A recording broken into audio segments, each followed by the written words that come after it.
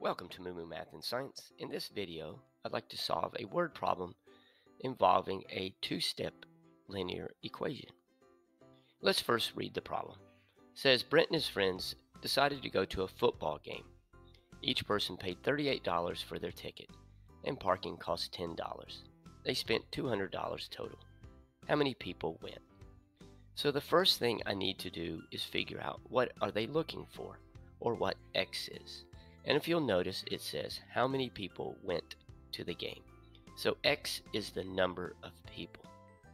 Now I need to figure out what these people had to spend because they've given me the total of $200.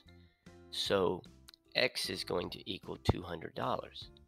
So now it says that each person paid 38, so it will be 38X plus the additional parking cost of $10. So here's our equation. Now I just solve it.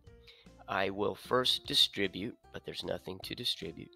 And then if I needed to, I would combine like terms, and then I would move variables to the left and constants to the right, or numbers to the right. If you'll notice, I already have all the variables to the left, so I just need to move the numbers to the right.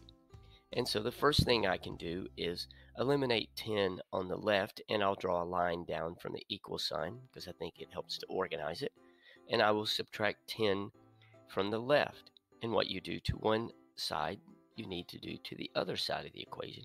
So I will subtract 10 from the right.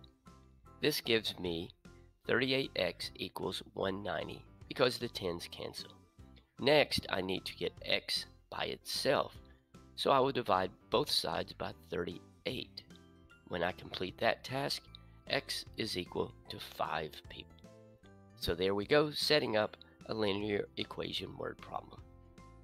Thanks for watching, and Moo Moo Math uploads a new math and science video every day. Please subscribe and share.